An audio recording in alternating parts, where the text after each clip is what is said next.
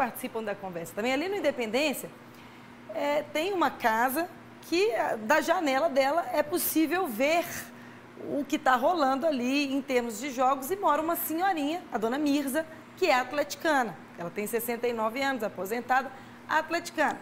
E tem até um nome para a casa Janela dela. Janela na veia. Que, a, que Janela na veia. E aí, meu povo, o que, que aconteceu? O América, para que a dona Mirza não possa assistir o, o, a partida, o clássico, da janela na veia, na verdade, não vou falar que foi para isso. Mas o fato é, o América colocou um outdoor na janela de Dona Mirza, ali, na, que tampa a visão da janela, não na janela, né? Ela vai mostrar essa situação e explicar melhor para vocês e a gente vai comentar o fato. Muito gostoso. Agora que eu estou sozinho, que meu filho mudou e tal, que eu estou pensando em mudar, mas que Zona Leste também. Entendeu? Eu gosto muito desse canto, que minha filha mora lá no Buritiba, mas eu gosto da Zona Leste. Agora essa marmota aqui, eu vou te contar um negócio. Eu acho surreal você chegar na janela e dar de cara com isso. Surreal. E olha lá a quantidade de espaço, gente. Presta atenção. Sabe aqueles negócios assim? Ontem eu perguntei pro, pro cara que estava aqui embaixo, antes deles instalar, estava só a, a armação. Foi ontem a instalação? Foi. Aí eu falei que esse trem vai tampar minha janela, ele olhou para mim e riu, falou, claro. Bom. Quis jogar água nele, não? Eu não, joguei pouco. Vamos, pode rodar, Pedrinho, conforme eu pedi as imagens da sequência, só para entender. Tá ali, ó, o Coelho colocou o primeiro Deca campeão no mundo, do mundo, tampando a visão, é claro que está dentro do Independência, e tampa a visão da dona Misa.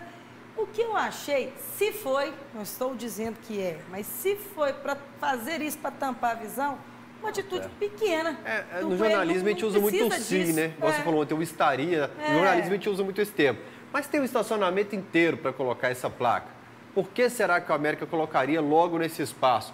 Olha o tempo, olha o que tem ali de espaço para uma senhorinha ficar na janela ali. Ah, porque provoca quem passa ali no estacionamento. Uma senhora de 69 anos, dessa distância, dessa altura. A arquibancada é do lado, gente.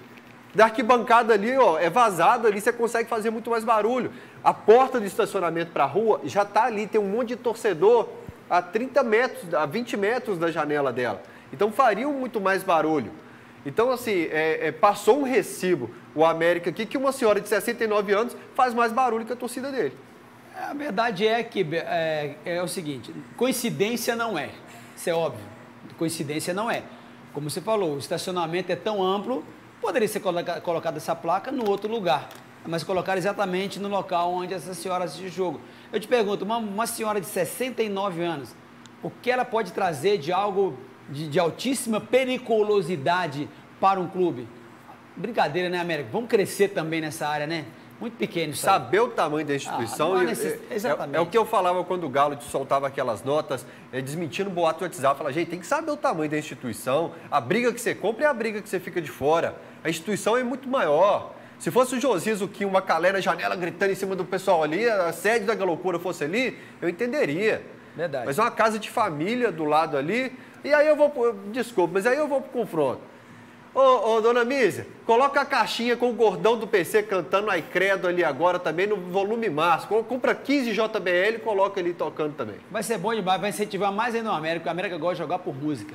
Agora, então coloca aí as imagens do América, justamente por ele, por ser o primeiro Deca campeão, coloca aí que eu vou dar um recado, meu time. Por ser o primeiro Deca campeão do mundo. Tem que comprar a briga, eu sou sindicato. A sua grandeza, América. Essa atitude aí não está condizendo com a sua grandeza, não, Coelhão.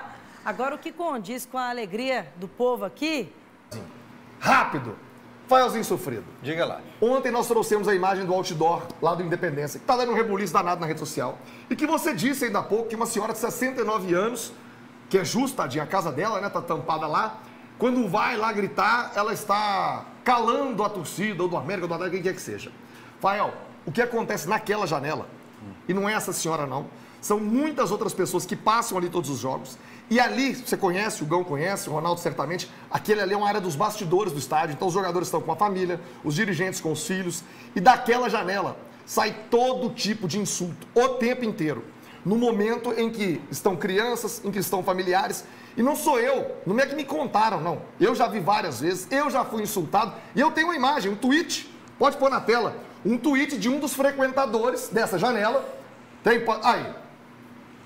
Hoje eu aprendi que zoar cruzeirense é bom, mas zombar dos jogadores é melhor ainda. Hoje a janela na veia acabou com eles.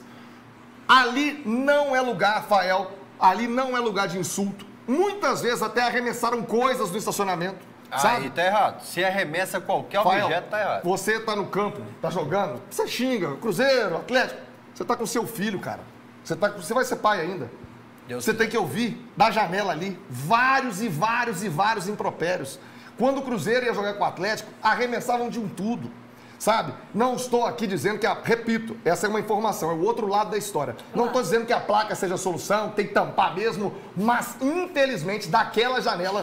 E eu mostrei para você um tweet, mostrei ali o tweet. Então da- aí da- quem tem que responder agora é ela. Voltar lá e falar, estão arremessando objetos, estão ofendendo é, jogador. Você tá vendo o tweet aí, ó, de alguém que frequenta lá. Na hora não sou eu eu não que tô dizendo, não, tá aí, manifestei. ó. Na hora, não, na hora que Está no aí, programa- ó. Tá, tá pra você ver. No Alguém programa, assumindo que no passa o que eu tô programa eu não manifestei, porque eu falei assim, deve ter dois lados da história nesse sentido, porque pode ser uma senhora de não sei quantos anos, pô, não interessa. Se você estiver ofendendo alguém, está errado. É isso. Está E claro errado. que não é ela que então, ofende, Pronto, não, claro. justo. Se for ela... Está usando a imagem dela de dela novo. especificamente. Tadinha, Então, já é, pronto. é verdade. Uma pena, a casa dela. Mas daquela janela saem todo tipo de impropérios. Não pela senhora de 69 anos, como você disse, que vai calar o torcedor. Não, não. São várias e várias pessoas que ali vão em jogos ou do Atlético, ou do Cruzeiro, ou do América. Quando o Cruzeiro agora mandando os jogos lá, inclusive, passou uma série de perrengue naquela situação. Então, tudo tem dois lados. Tô dizendo que o outdoor tá certo? Não tô dizendo isso não. Tô dizendo que há um outro lado, que há uma motivação. Aquilo não foi colocado gratuitamente só para fazer sombra na casa da senhora, não. E agora eu vou me despedir do pessoal aqui.